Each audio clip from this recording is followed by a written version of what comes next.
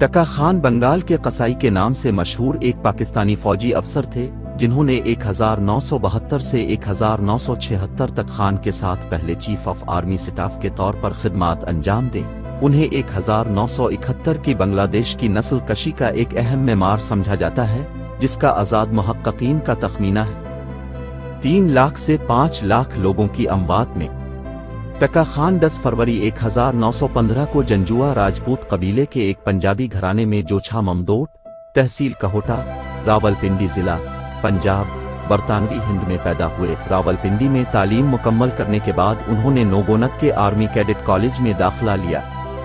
मध्य प्रदेश 1933 में।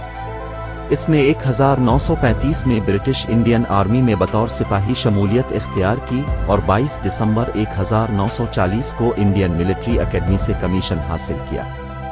अपने इब्तदाई सालों में, वो बॉक्सिंग की अपनी गैर मामूली महारतों के लिए जाना जाता था।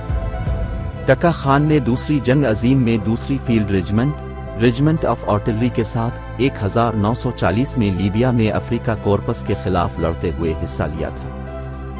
जर्मन फौजियों के हाथों पकड़ा गया, वो फरार होने और बर्मा के खिलाफ मुहिम में शामिल होने से पहले एक साल से जायद अरसे तक जंगी कैदी के तौर पर कैद रहा। 1945 में जापान, जहाँ वो जख्मी हुए थे। 1946 में उन्होंने हिंदुस्तान के मुख्तलिफ़ हिस्सों में और देहरादून में इंडियन मिलिट्री एकेडमी में बतौर इंस्ट्रक्टर खिदमात अंजाम दी। बरतानवी हिंदुस्तान की तकसीम के बाद टका खान ने एक में पाक फौज में बतौर मेजर शमूलियत इख्तियार की, तेज़ी से सफ़ों में इजाफा हुआ। एक हज़ार नौ सौ उनचास तक वो लेफ्टिनेंट कर्नल थे और मीडियम रेजिमेंट के कयाम में कलीदी किरदार अदा किया। 1950 में कर्नल के ओहदे पर तरक्की हुई, उन्होंने जीएचक्यू में डायरेक्टोरेट ऑफ़ आर्टिलरी में डिप्टी डायरेक्टर के तौर पर खिदमात अंजाम दी और 1955 में ब्रिगेडियर बन गए। एक में उन्हें मेजर जनरल के ओहदे पर तरक्की देकर रावलपिंडी में जीएचक्यू में तैनात कर दिया गया। एक की हिंद पाकिस्तान जंग के दौरान, मेजर जनरल टका खान ने आठवें इन्फेंट्री डिवीज़न की कमान की, जिसने रन ऑफ़ कुछ और बाद में सियालकोट सेक्टर में अपनी क्यादत के लिए पहचान हासिल की। एक हज़ार नौ सौ उनहत्तर में लेफ्टिनेंट जनरल के ओहदे पर तरक्की पाने के बाद उन्होंने लाहौर में फोर कोर की कमांड की और पंजाब के मार्शल एडमिनिस्ट्रेटर के तौर पर खिदमात अंजाम। अपने सख्त और बेरहम रवैये के लिए जाना जाता है। उन्हें मार्च 1971 में ढाका भेज दिया गया, जहाँ से उनका ओहदा लेफ्टिनेंट जनरल बहादुर शेर को छोड़ दिया गया। 1970 के आम इंतखाबात के बाद मगरबी और मशरकी पाकिस्तान दोनों में सूरत हाल इंतहाई पेचीदा हो गई।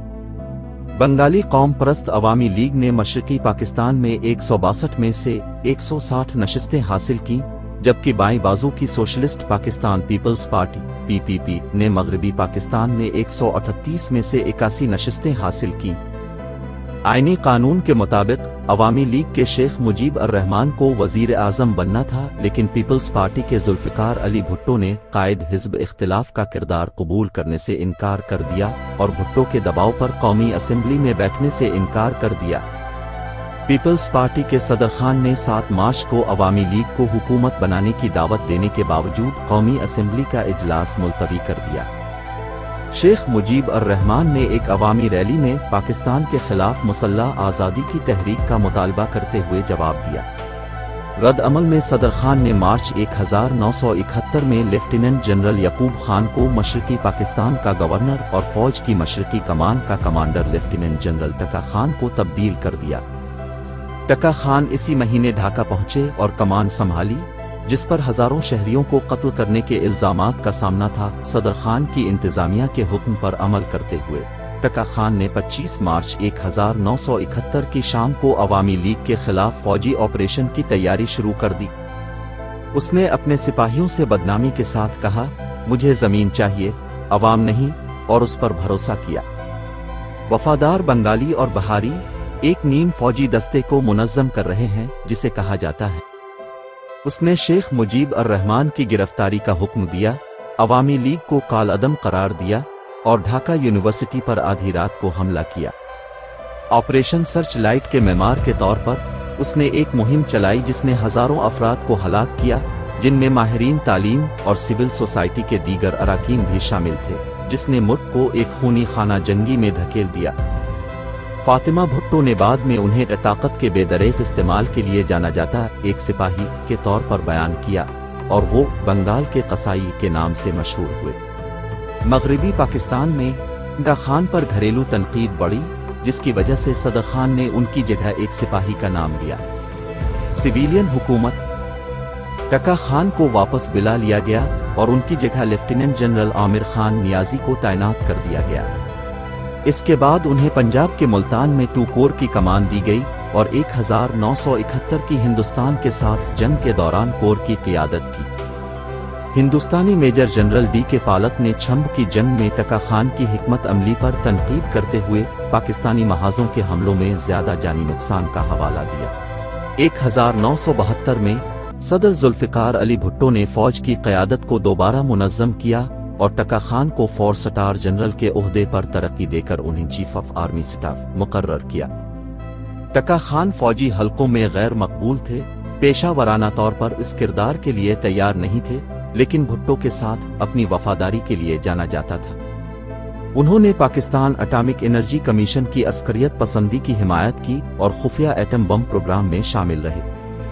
टका खान को 1971 की जंग के बारे में हमूद अर रहमान कमीशन की रिपोर्ट में भी मुलवस किया गया था, लेकिन रिपोर्ट का ज़्यादातर हिस्सा अभी तक खुफिया।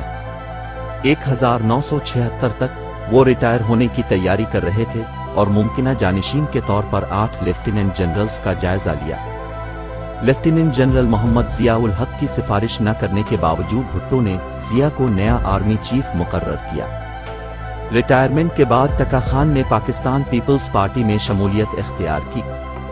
टका खान को 1976 में वज़ीर आज़म जुल्फ़िकार अली भुट्टो ने कौमी सलामती का मुशीर मुकर्र किया था। उनका दौर मुख्तसर था। इस वक्त खत्म हुआ जब 1977 में army chief general Mohammad Ziaul Haq ने मार्शल ला लगाया। जनरल जिया ने भुट्टो और टका खान दोनों को गिरफ़्तार करके घर में नजरबंद कर दिया। एक हज़ार नौ सौ उनासी में भुट्टो की फांसी के बाद, Tikka Khan Pakistan peoples party, PPP, के एक अहम रहनुमा के तौर पर उभरे, इसके सेक्रेटरी जनरल बने। 1980 से 1988 तक, टका खान को अपनी सियासी सरगर्मियों की वजह से अक्सर कैद किया गया। हुकूमत के खिलाफ उनकी मुखालफत के बावजूद, फौज में उनके कई हामियों जैसे सवार खान, इकबाल खान और रहीम उद्दीन खान को फोर स्टार रैंक पर तरक्की दी गई और उनके साथ बाइज्जत ताल्लुक बरकरार रखे गए। एक हज़ार नौ सौ अट्ठासी के आम इंतबात में टका खान रावलपिंडी की नुमाइंदगी करने वाली नशिस्त के लिए नाकाम रहे। दिसंबर एक हज़ार नौ सौ अट्ठासी में उन्हें वज़ीर आज़म बेनजीर भुट्टो ने पंजाब का गवर्नर मुकर्र किया था। उनकी मुद्दत इस वक्त खत्म हुई जब सदर गुलाम इसहाक खान ने अगस्त 1990 में बेनजीर भुट्टो की हुकूमत को बरतरफ कर दिया, जिसके बाद टका खान ने फाल सियासत से रिटायरमेंट ले ली। 1990 की दहाई के दौरान, टका खान बीमारी से लड़ते रहे और कई सालों तक सी एम एच रावलपिंडी के अस्पताल में दाखिल रहे। उन्होंने 1971 के मुतनाज़ा वाकयात के बारे में कई टेलीविज़न इंटरव्यूज़ से इनकार किया। टका खान 28 मार्च 2002 को इंतकाल कर गए। उनके पसमानदगान में तीन बेटे और दो बेटियाँ हैं। उन्हें रावलपिंडी के वेस्टेज कब्रिस्तान में फौजी एजाज के साथ सुपुर्द खाक कर दिया गया। उनकी नमाज़ जनाजा में chairman joint chiefs of staff committee Aziz Khan, army chief of staff, chief of air staff, chief of naval staff और दीगर आला अस्करी और सिविल हुक्काम ने शिरकत की। सबक वज़ीर आज़म और पीपीपी की चेयरपर्सन बेनजीर भुट्टो ने अपने बेटे कर्नल खालिद मसूद के नाम एक पैगाम में टका खान को खराज तहसीन पेश करते हुए उन्हें ऐसे शख्स के तौर पर बयान किया जो अपनी मेहनत और कानून की हुक्मरानी के एहतराम की वजह से इस मुल्क के अला तरीन उहदों पर फाइज हुआ।